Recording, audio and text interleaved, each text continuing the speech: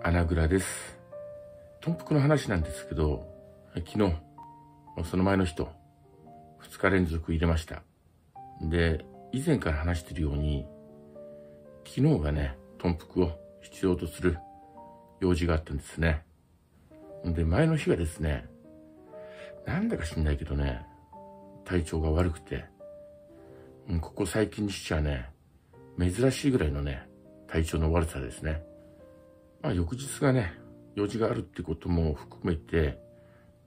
精神的なストレスがあったのか、で、寒暖差、ここのとこね、あったかいですからね。その影響によってね、体が不調になったのか、うん、どっちもどっちなんですけどね、それよりね、ちょっと生活のリズムが崩れたっていうのがね、一番大きいかなと思いますね。そんでね、その、当日の前の日、昼間から体調が悪くてね、早々にコンスタン繁盛入れたんですよ。それでもね、びっくりともしないような、うん、副作用の眠気とかふわっと感もないし、うん、それによって回復したような作用もないし、まあ実際ね、少なからず効いてると思うんですが、それに勝る体調の悪さって感じだったんでしょう。んで、夕方以降もね、繁盛を入れたんですね。それは体調回復とね、うん、前日ね、豚腹なんか入れとくとね、翌日体調が良かったりするんで、一応念のためにね、夕方以降、もう繁盛入れて、その日はね、計1錠ですね。まあ、1錠ね、その当日でもないのにいるってね、これは非常に珍しいんじゃないですかね。多分、弾薬してからね、初めてですよ。今、ガスガスっていうのはね、猫が朝ね、遊んでるんで、まあそんなこんなでね、その前日はやり過ごしたんですが、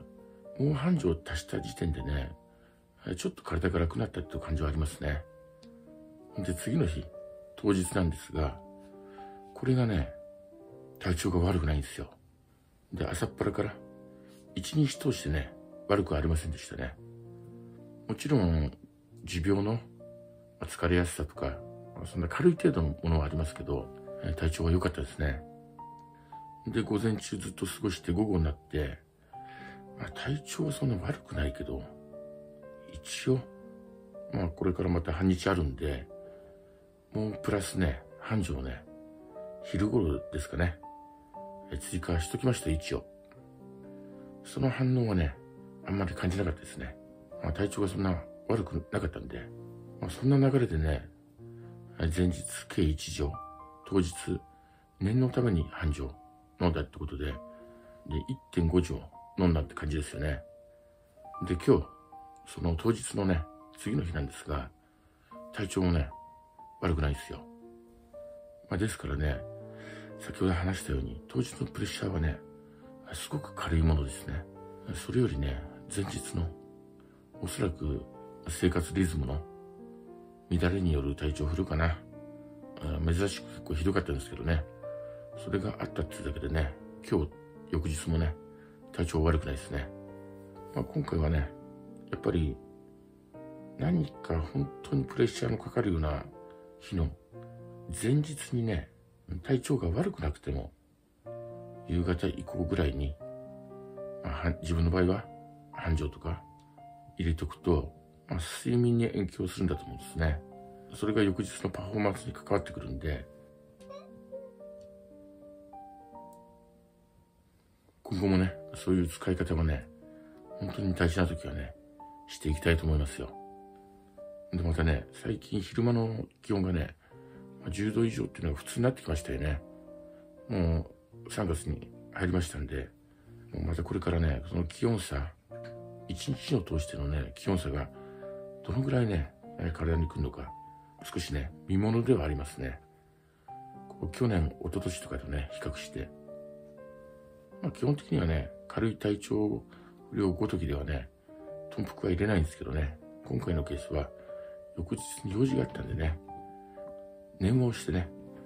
余計に繁盛出して、試してましたけど、まあ結果オーライってとこですよね。